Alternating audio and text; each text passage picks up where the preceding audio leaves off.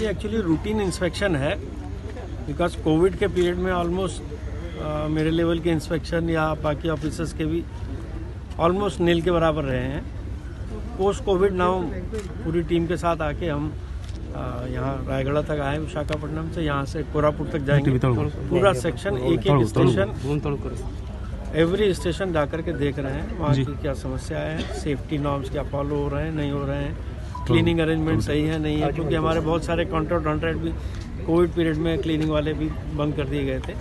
तो अभी सब अब things have to be normalize and put it back on the normal track तो इस वजह से क्योंकि अभी अप्रैल से और ट्रेन्स भी बढ़ जाएँगी तो हमें सारी चीज़ें देखनी है कि क्या ज़रूरतें हैं कैसे पूरी सिचुएशन को वापस रिस्टोर किया जाए।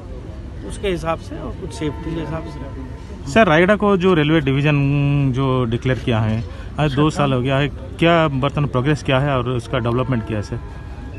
ये प्रोग्रेस उसका ऐसा है इस साल जो अलॉटमेंट मिले हैं मिनिमम है इस साल आपको पता है कि रेलवे की भी economic situation because of Covid earning तो थोड़ी सी कम हुई है इसलिए इस साल बजट अलाटमेंट थोड़ा कम है बट सर्वे अर्वे हो, हो चुका है maybe within this year only it will pick up but ये हेडक्वार्टर कंस्ट्रक्शन डिपार्टमेंट डील करता है।